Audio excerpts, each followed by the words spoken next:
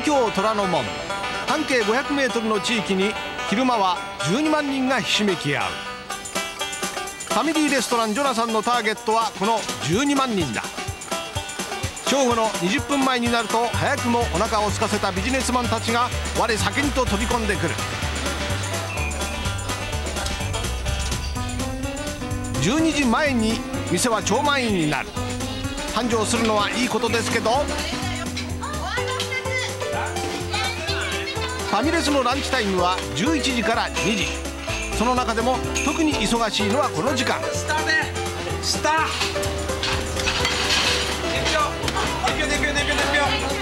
店長自ら大車輪で働く。この立派な体格で毎日のランチ戦争を勝ち抜くんですね。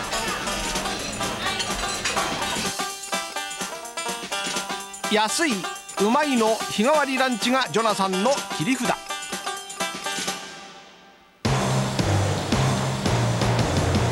雑で嬉しい悲鳴を上げてるジョナサンの2階には中華のファミレスバーミヤン。ジョナサンと親会社こそ一緒だが仲良くするどころか同じ客を奪い合うライバル店である。早い安いあったかいを売りに人気のラーメン380円。餃子も激安。驚きの値段である。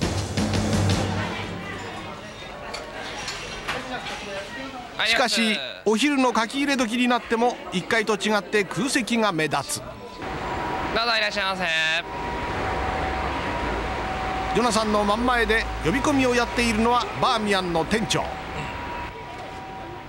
どうもジョナサンのお客の入りが気になって仕方がない。ジョナサンさんいっぱい入ってますね。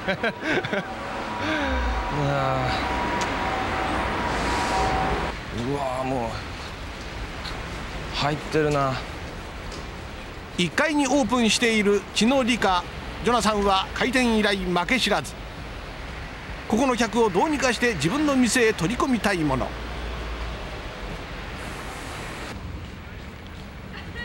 2軒先にあるコンビニも店長にとっては目の上の単こぶいやいや気になるライバル。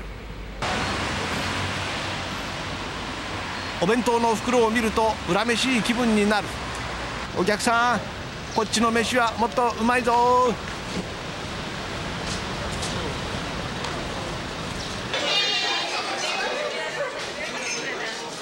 12時10分。ジョナサンで待つ客はもうあふれんばかり。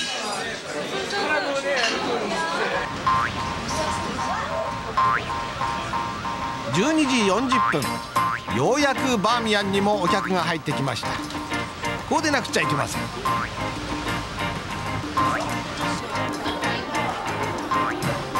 ンチタイムはお客を3回転させるのが目標。10分以上待たせずいかにうまく振り分けるかが店長の腕の見せ所。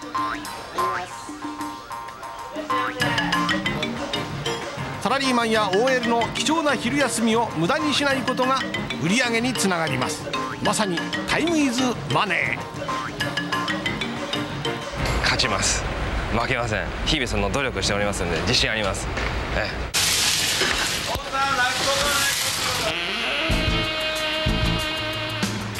夜道を急ぐ企業戦士が一人。残業で遅くなったから今夜はバーミヤンで大好きなラーメンでも。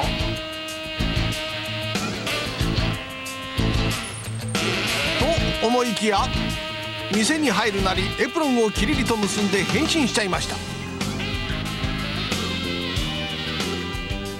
さらに胸にはバーミヤンの名札をつける。しかも名札には輝く三つ星マーク。実は彼の正体はチーフインストラクターだった。おはようございます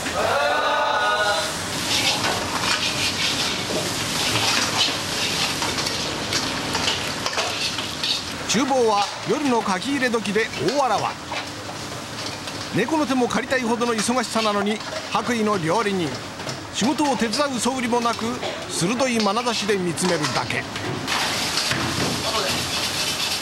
バーミヤンの早くてうまい料理を支えているのは厳しい鍋の技能検定。通称地獄の鍋剣最も初心者の1級から最高位の9級までありこの下山は最高位9級の判定員だ。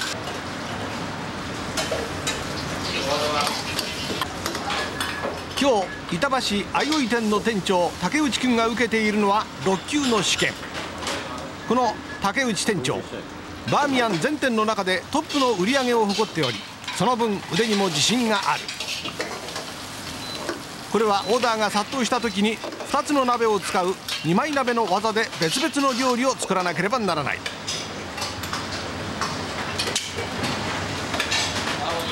感情を一切表に出さない判定員下山。店長終わりです。はい、はい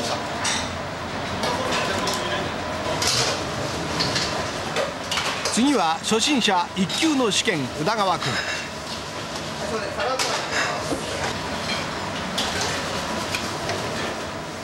下山は思わず苦笑い1級は火の入れ方や鍋の扱い味付け盛り付けなど基本的な技術を見る。宇田川君はグループの料理学校を卒業して腕には多少の心得がある。ところがいきなりあららら。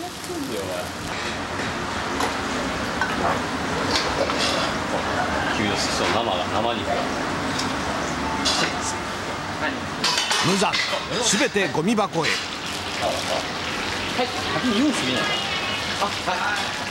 下山の鬼のようなチェックはまだまだ入る。自分はできないっていう自覚ないだろ。そうできないやつっていうのはね、先に全部用意したらはい、遅いんだからさ、は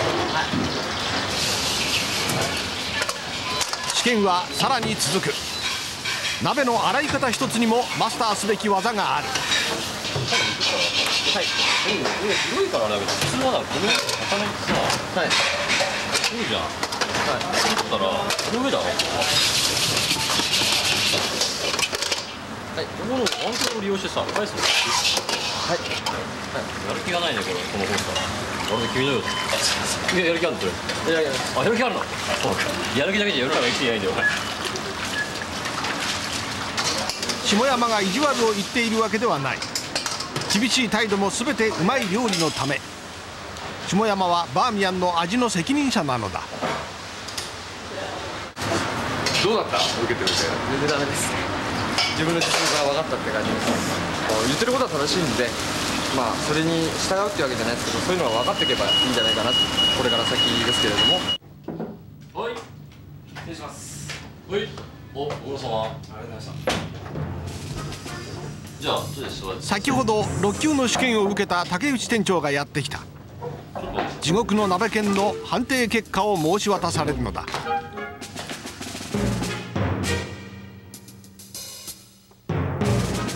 チェックシートを見るとポイントはほぼクリアしている。14項目中13点。盛り付けだけがダメを出されている。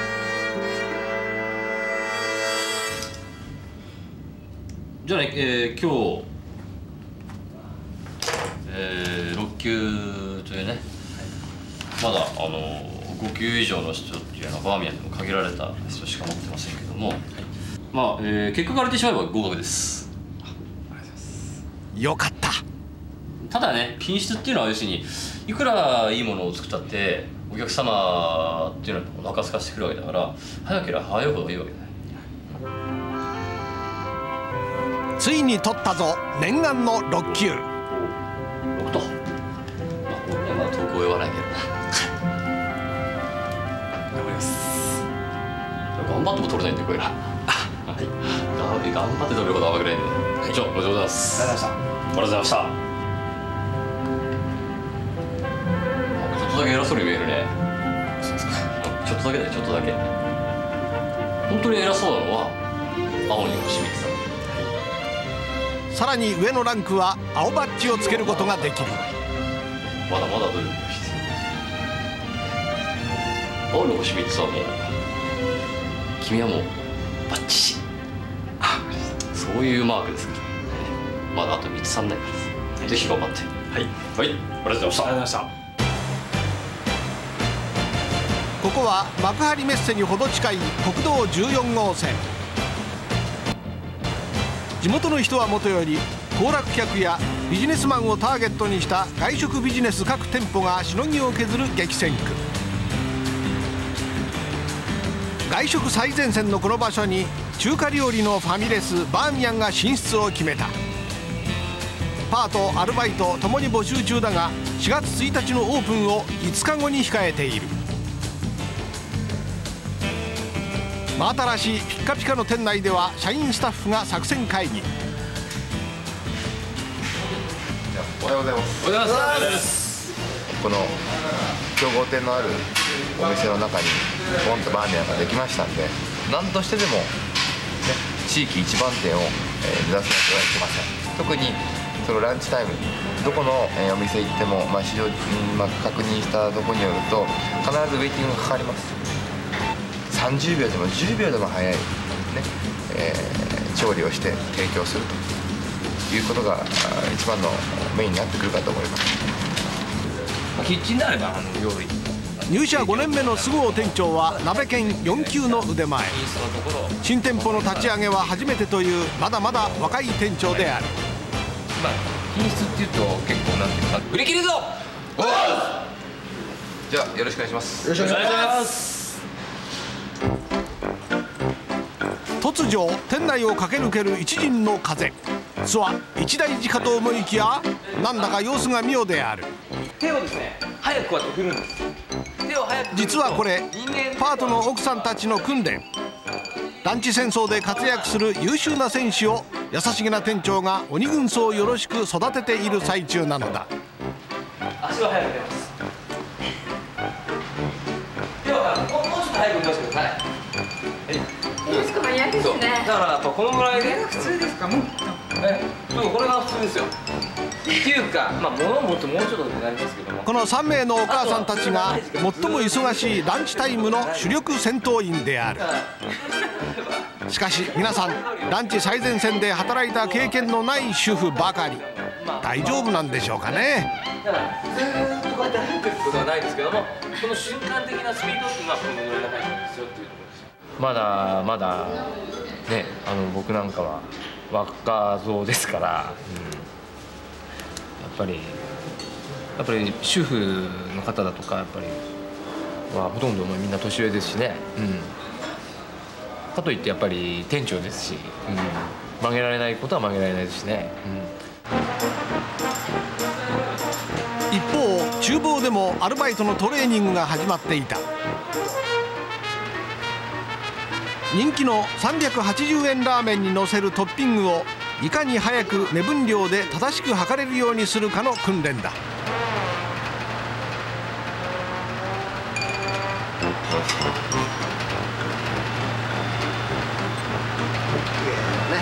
3個でちょうど1分。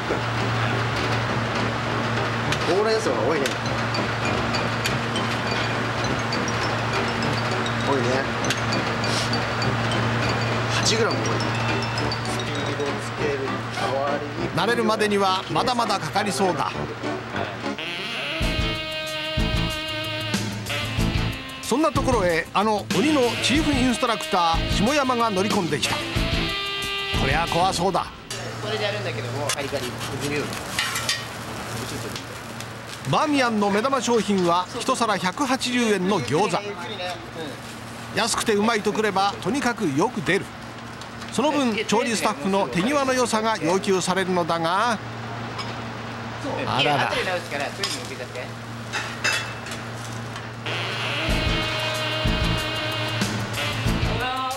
鬼教官下山厨房入り。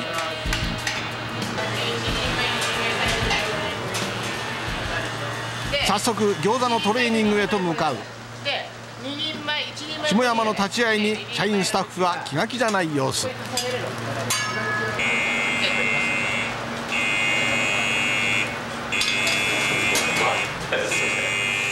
見るに見かねてついに下山が動いた。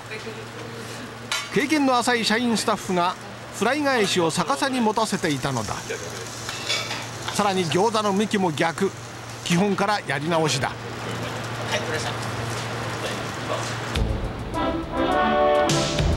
オーププンまで残された時間はあと3日。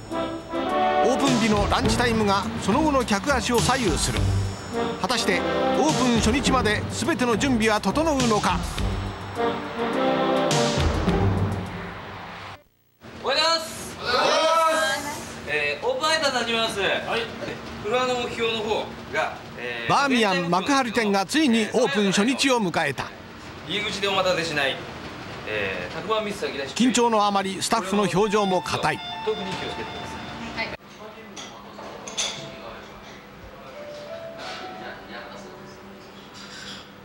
オープンの10時を回って最初のお客がやってきた。まずはランチタイムの肩慣らし。とはいえ店長不安そう。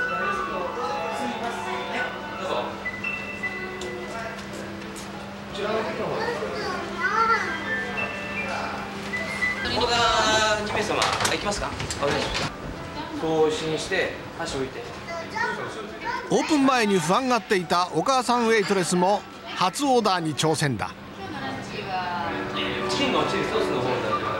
不安に耐えかねた店長。ついには横から口を挟んだりして。まあ一生懸命なのはわかるけどね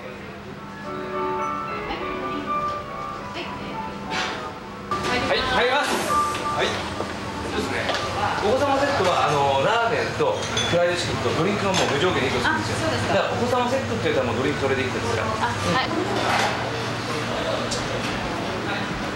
これなんですかえドリンクバイこれはあの生ビール小ジョッキのグラスです。そうですはい、ドリンクはこっちです。これです。はい。すか？しかし新米ウェイトレス。わからないことだらけは続く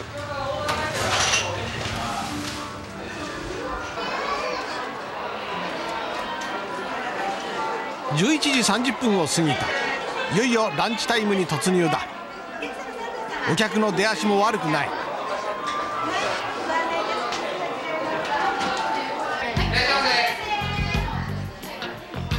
店長次第に気が気じゃない様子でうろつき始めた。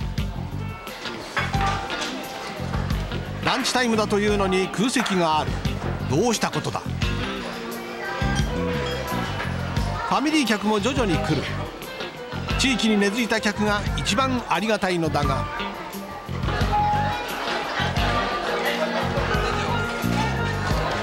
塾長の佐々木も焦りの色を隠せない。このままではいけない。何とかしなければ。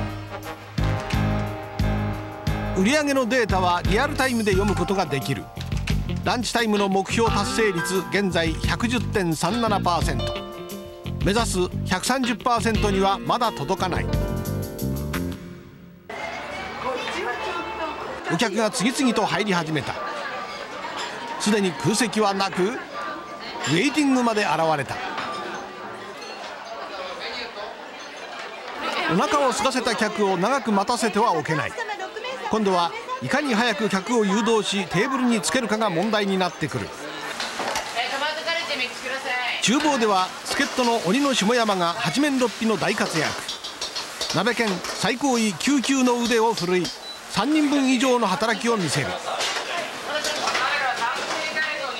そんな時トラブル発生。伝票と注文が噛み合わずお客様からクレームが来たのだ。どこですか？あそこですか、えー、60ですよね。いやー60はね60 60の伝票って。あれ酒飲み買ったんだよね店長。はい62でごめんなさい62がこちの伝票ナンバーテーブルナンバーの打ち込み間違いだった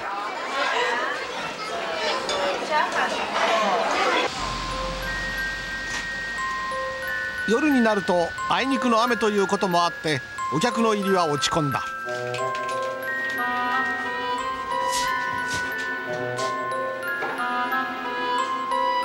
肝心のランチタイムの結果はどうだったのだろう目標130%に対し124.39%苦戦しましたねやっぱり。もうちょっと欲しかったですねまあちょっとあと駐車場の問題と、まあ、ちょっと今日寒かったっていう問題と。あ、とはまあ従業員で言えば多少ちょっと皆さん少し硬かったかなっていう、えーでも悔しいな。もっと上を狙っていた佐々木地区長。悔しさを隠せない。貸して貸して一方鬼の下山は厨房で実際に調理していた分今日の目標達成率は肌で感じて分かっていたようだ。数字を見て落ち込む様子もなく厨房のローテーションの問題を店長にぶつける。貸してなんだよ。畜生はそして小島さんラップがお前じゃあちょ機器見てこいよ今。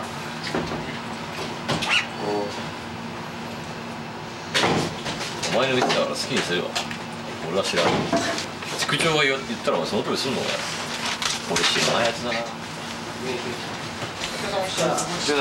僕的にはやっぱり小島さんにじゃあ1週間見てもらいたい鋭いツッコミに店長しどろもどろ。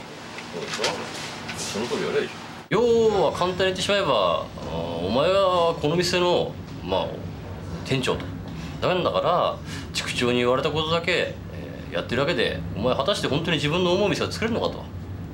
お前店長だったら自分の考えだとか思いだとかそういうものを今のうちに出しとけと店長は店で一番偉いんだからお前が決めろということを言ったんです。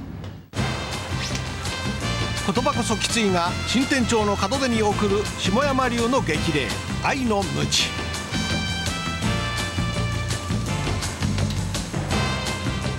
オープン初日の売上トータルは98.55%雨の中決して悪くない数字だ。伸びるといいですね。この線のように伸ばしますよランチ戦争は時間と数字との戦い。本当の勝負はこれからだ。